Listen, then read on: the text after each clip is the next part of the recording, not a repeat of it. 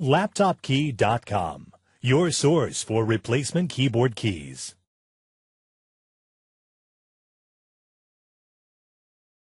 Notice, when trying to repair your laptop keyboard keys, searching by the laptop brand and model may not always be enough information. Many times laptop manufacturers produce keyboards that look the same on the outside, however have differences underneath the keys.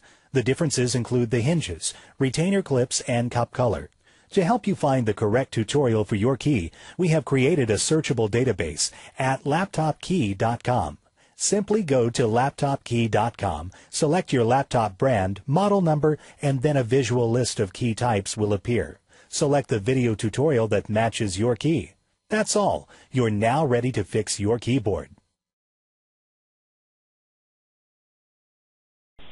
Okay, so we're going to show you how to install your key onto your keyboard. And we're going to start by looking at the metal plates or hooks that are on the keyboard.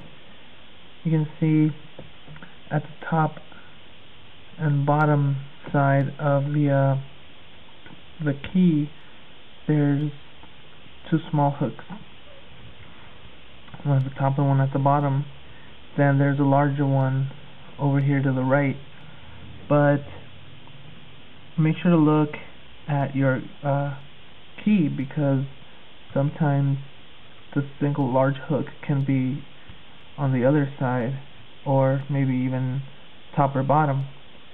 And the position for those metal hooks determine the position for these pieces here. So what we're going to do right now is click the hinges together then put them on the keyboard and then click the keycap on top of that. So you want to start with the large piece and you can see at the top corners it has pins and it also has pins at the bottom corners but in the middle it has a fitting kind of so they're more like holes so that's where the other piece is going to click into. Now make sure not to put this whole piece upside down because it'll look the same but it won't function. So you do that by feeling the vertical bars here. If you feel a bump or if you feel that the piece breaks into several pieces that faces the keyboard and if you feel the top it's supposed to be one smooth piece. The only thing that's different is the top horizontal bar. That one's thinner. So now you know the position for this put it down in the right position for now so we can look at this piece. And this piece has two pins at the top.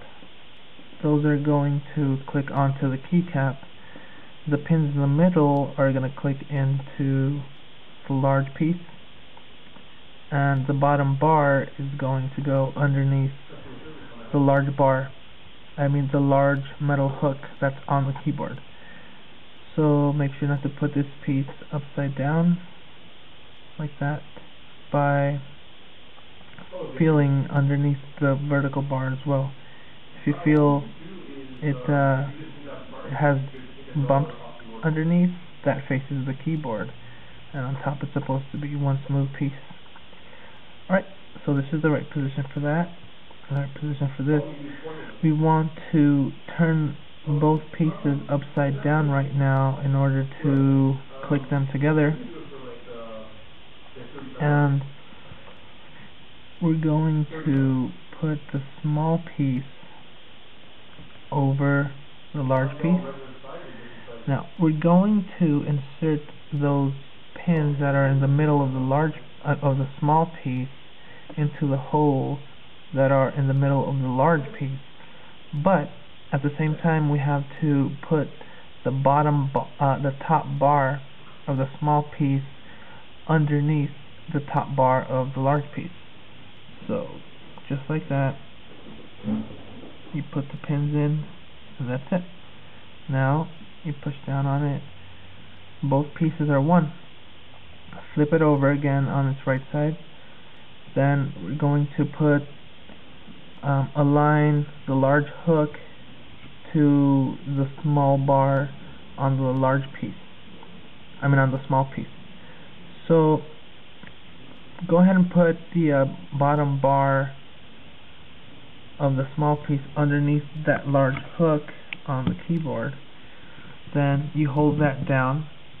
Now we're going to stretch the hinges towards the opposite side in order for the other two hooks to grab onto the pins that are at the corner.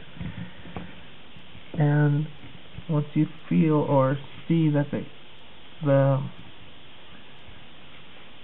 clips are underneath that, you know, those two metal hooks, you can get your keycap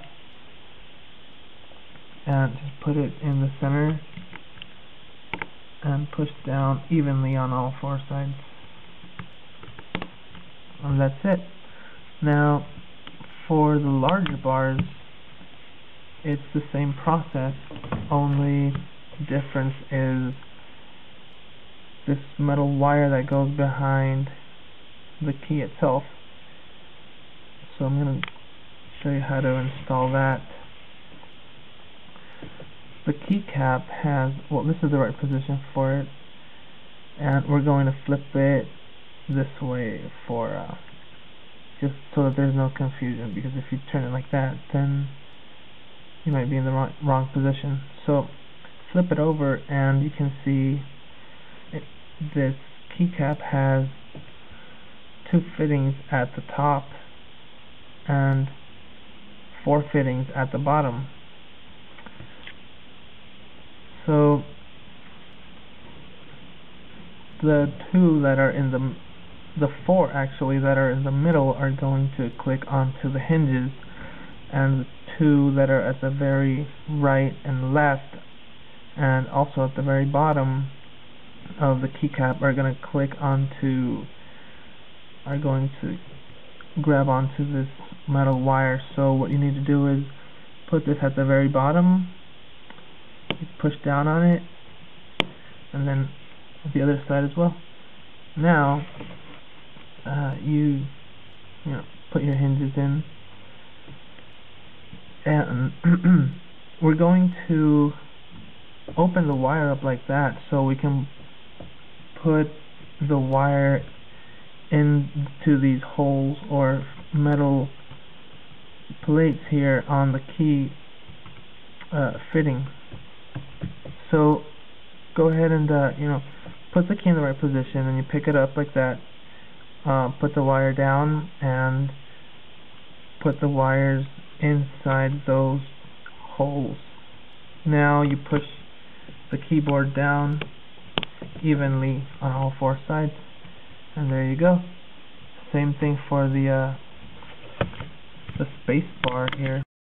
LaptopKey.com your source for replacement keyboard keys.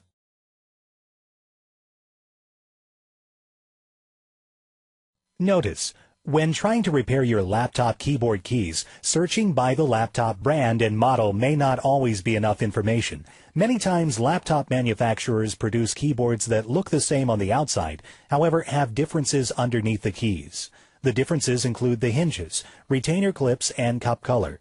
To help you find the correct tutorial for your key, we have created a searchable database at laptopkey.com. Simply go to laptopkey.com, select your laptop brand, model number, and then a visual list of key types will appear. Select the video tutorial that matches your key. That's all. You're now ready to fix your keyboard.